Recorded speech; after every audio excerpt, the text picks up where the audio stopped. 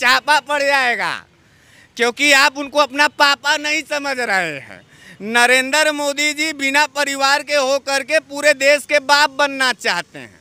नजायज बाप, जालिम बाप, जो बच्चों को पढ़ाने नहीं दिया, देना नहीं चाहते हैं। जो बच्चों को खुशहाल नहीं देखना चाहते हैं। वो लगता है कि जैसे पड़ोसी के बाप हैं, और अपने, देखिए, नरेंद्र मोदी जी के तीन ठो बच्चे हैं। आप नहीं जानते होंगे सुन लीजिए। बड़का पत्रकार जी, आप हमसे बात कर रहे हैं। हाँ हाँ आपकी आँख की रोशनी बाबा विश्वनाथ ठीक ठाक की है। हाई चेहरवा देखिए ना। हम गुंडा लगते हैं आपको। हम आपको मवाली लग रहे हैं। हम जब रोज़गार का सवाल पूछ रहे हैं, बहन बेटियों का सवाल जब पूछ रहे हैं महँगी शिक्षा पर सवाल पूछ रहे हैं तो हम देश के गद्दार हो गए।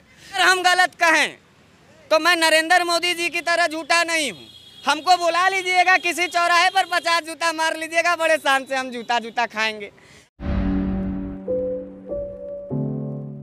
यूपी विधानसभा चुनाव नज़दीक है और यूपी विधानसभा चुनाव को देखते हुए हम अभी बनारस में पहुँचे हैं। यहाँ पर बनारस के एक चर्चित शख्स को आपने सुना होगा, बनारस वाले मिश्रा जी।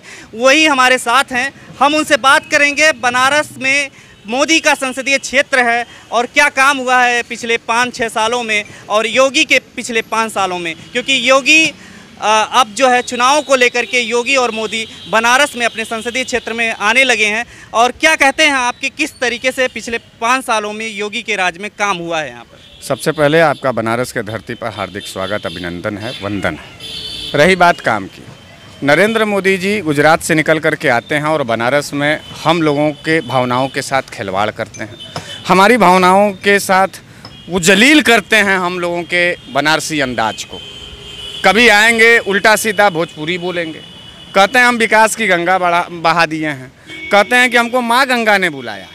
लेकिन बाबा विश्वनाथ की नगरी, जहाँ हम हर हर महादेव के उद्गोत से अपना सुबह शाम शुरू की काम का शुरुआत करते हैं, वहाँ नरेंद्र मोदी जी, हम हिंदुओं के मन मानसिकता पर इतना बड़ा कुठाराघात और हमला करते हैं और उसी गली में, जहाँ हर हर महादेव बसता, का नारा लगता है, वहीं वो हर हर मोदी का नारा लगवाते हैं। ये तो उनकी ट्रेजडी है। दूसरी बात मैं आपसे अनपॉलिटिकल बात करना चाहता हूँ, चूँकि आप नौजवान साथी हैं और मैं भी आपके ही उम्र के लगभग हूँ। एक बात बताइए, आप नरेंद्र मोदी जी को भारत का प्रधानमंत्री होते हुए कभी आपने देखा है? मैंने तो नहीं देखा है। मैंने नरेंद्र मोदी जी को भाजपा का प्रधानमंत्री होते हुए देखा है। आप देखिए ना प्रधानमंत्री जी को। वो कभी भी देश की भावनाओं के साथ कभी कोई काम नहीं करते हुए नज़र आते हैं। वो अनलिमिटेड रेट बढ़ाने वाले एक ऐसी मशीन है जो हम बनारसियों को और हम हिंदुस्तानियों को मौत के कागार पर ले जा रही है। इस सवाल को जब हम लोग बनारस के सड़कों पर नरेंद्र मोदी जी से रूबरू होना चाहते हैं तो नरेंद्र मोदी जी डर के मारे पुलिस लगवा करके हम लोगों को कैद कराते हैं, जेल भेजते हैं। ये बनारस के राजनीतिक परंपरा में नहीं था। प्रभात जी। तो ये जो आप कह रहे हैं कैद करते हैं पुलिस लगाते हैं अभी अ, हमने देखा था आपको भी जेल में डाला गया था। क्या मतलब क्यों डरती है सरकार? क्या आप लोगों से? या देखिए नरेंद्र मोदी जी और पूरी भारतीय जनता पार्टी कायर और डरपोक है। हम इस बात को लगातार कहते हैं। अगर प्रभात जी आप पत्रकार हैं अगर एक बात बताइए चोर के दाढ़ी में तिनका हम पूर्वांचल हम बनारसियों के लैंग्वेज में एक कहावत है कि चोर के दाढ़ी में तिनका। अगर नरेंद्र मोदी जी पूरी तरीके से स्वच्छ होते, उनका विचार स्वच्छ होता, आम भारतीय लोगों के प्रति उनके दिल में इज़्ज़त होता तो क्यों डर है? विपक्षियों का स- कभी आपने उनको देखा है कि विपक्षियों को बैठा करके उनके भी सवाल को सुने? नेता हैं वो, प्रधानमंत्री हैं, लेकिन कायर भाजपाइयों की तरह डरते हुए फिरते नज़र आते हैं। हज़ारों हज़ार पुलिस बनारस के सड़कों पे लगाई जाती है, सिर्फ़ इसलिए कि कहीं बनारस वाले मिश्रा जी, ये सवाल उनसे ना पूछ लें कि ये बताओ दो करोड़ नौकरी कहाँ है।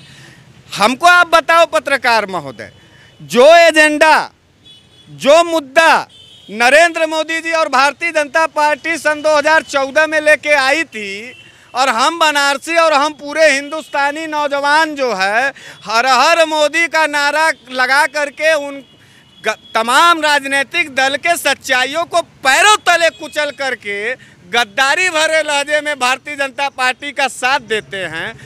दस, ए, वन, टू, टेन जो भी मुद्दे हैं, जैसे का, सुन लीजिए। दो करोड़ नौकरी हम लाएँगे। आज आप उत्तर प्रदेश के अंदर हैं।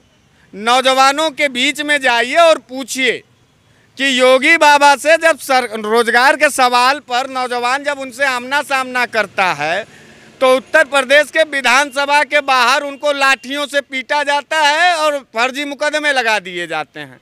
जेल हमको भी भेजा जाता है। आप पूछिए कि बहन बेटियों की इज़्ज़त के लिए वो सोहदा एक्ट लाए थे योगी बाबा। मोदी जी भी बड़ा छाती पीट करके पीट थपथपा रहे थे। कि योगी बाबा शेर हैं। उत्तर प्रदेश में बलात्कार का रेपो दर उठा के देख लीजिए पत्रकार जी। अगर हम गलत कहें तो मैं नरेंद्र मोदी जी की तरह झूठा नहीं हूँ। हमको बुला लीजिएगा, किसी चौराहे पर पचास जूता मार लीजिएगा, बड़े शान से हम जूता जूता खाएँगे। अभी हम देख रहे थे आपका परिचय देख रहे थे तो उसमें आज तक ने लिखा है कि हरीश मिश्रा आग उगलते रहते हैं योगी मोदी के खिलाफ। क्या आपका काम है या, आग उगलना है सिर्फ़ योगी मोदी अमित शाह के खिलाफ? या मुर्दों को जला दिया जाता है।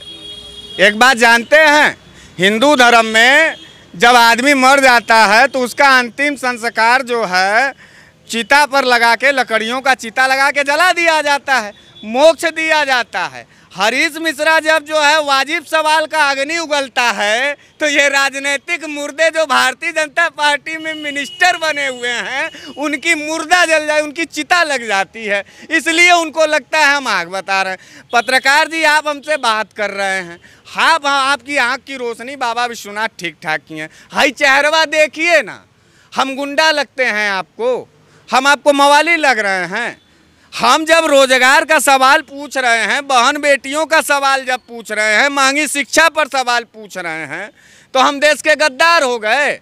सी को लेकर के वो आए और देश के अंदर बंटवारा और हिंसा और दंगा आपने देखा। आप जलते हुए भारत को देखना चाहते हैं। मैं तो नहीं चाहता हूँ कि मेरा भारत भटकता हुआ भारत हो। मैं तो चमकता हुआ भारत का कल्पना करता हूँ। नरेंद्र मोदी जी इस देश के अगर नेता हैं तो इस देश के नागरिकों की बात सुनेंगे कि नहीं सुनेंगे?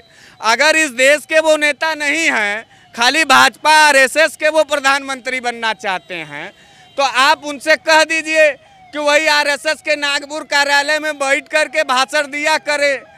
कहानी, किस्सा सुनाते हैं मन की बात में। यही अत्तवार को, अत्तवार यानी रविवार को बनारसी भाषा में अत्तवार बोला जाता है। बड़ा शुभ दिन होता है। उस अत्तवार को वो अशुभ करने के लिए लंबा लंबा दाढ़ी लेकर के आ जाएँगे। हम लोग तो उनको कभी निबंध वाले काका जी बोलते हैं तो कभी भौकाल वाले बाबा जी बोलते हैं। कोई काम पत्रकार जी उनका ज़मीन पे दिखाई दिया है, आप बता दीजिए, हमको गिना दीजिए। नहीं कह रहे हैं कि रुद्राक्ष कन्वेंशन सेंटर बनवा दिया, उद्घाटन कर दिया है। और साफ़ सफ़ाई प्लेटफॉर्म तमाम तरीके गिना रहे हैं चीज़ों को। आप बनारस में क दिन से आए हैं पत्रकार? दो तीन दिन से तो आए होंगे।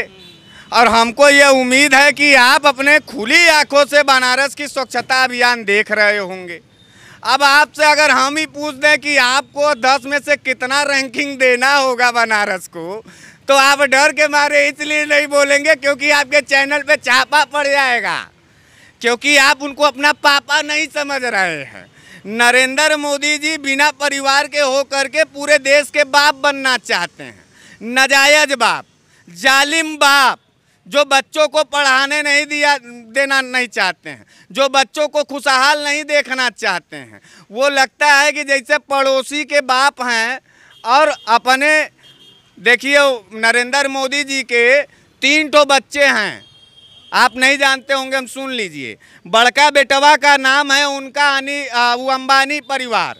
छोटका बेटवा का नाम है उनके अडानी परिवार। और तीसरका बेटा बड़ा लाजवाब है उनका उस बेटे का नाम है जय शाह ये तीनों जने बदे नरेंद्र मोदी जी इंसानियत की हत्या करके भाजपाई खेमे से जो है देश को कंगाल और लूटना चाहते हैं। देश का प्र, देश का बीएसएनएल बिका है कि नहीं बिका है पत्रकार? देश का रेलवे बिका है कि नहीं बिका है पत्रकार? देश के एलआईसी के हिस्से को बेचा गया है कि नहीं बेचा गया है पत्रकार? देश के पुलिस को हिंसात्मक बनाया गया है कि नहीं बनाया गया है पत्रकार? देश में हिंदू धर्म पर प्रहार किया गया है कि नहीं किया गया है पत्रकार? अब आप पूछेंगे कि हिंदू पर कैसे प्रहार कर दिए?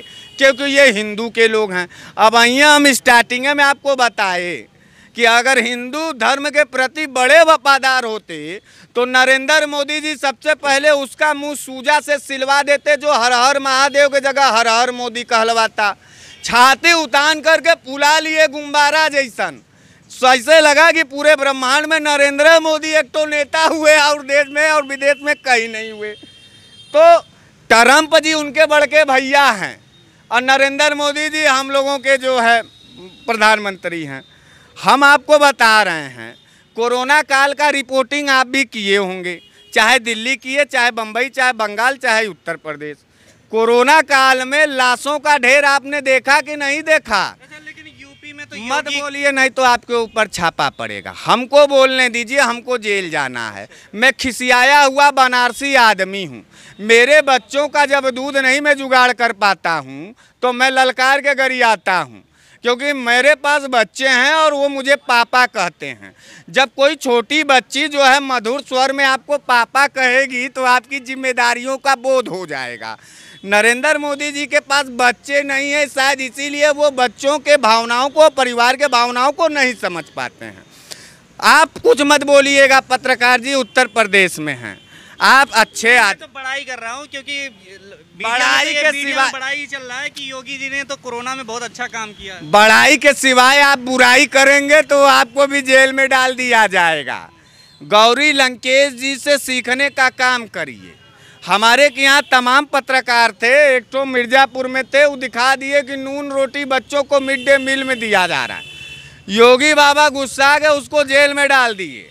उन्नाव में बेटी का रेप हुआ था उसके रिपोर्ट पर पत्रकार को मार दिया गया। यहाँ उत्तर प्रदेश में सन 2017 के बाद से नया प्रचलन चला है कि जो ईमानदार पत्रकार बनेगा उसका गला घोट के मार दिया जाएगा। जान की सुरक्षा किए रहिए उत्तर प्रदेश की सत्ता बदलने वाली है। बाईस के बाद आइएगा तब आराम से सत्ता का विरोध करिएगा। फ़िलहाल अभी योगी योगी करिए। हाँ बोलिए। हाँ, योगी जी ने बहुत बढ़िया काम किया है बताया जा रहा है इसीलिए विधायकी शायद लड़ने जा रहा है अयोध्या में कवन बढ़िया काम किए तई आप बताइए हमारा कान बड़ा तरस रहा मोदी जी ने कहा है योगी जी ने बहुत अच्छा काम किया है। मोदी और योगी जी की बात को मानते हैं कहा?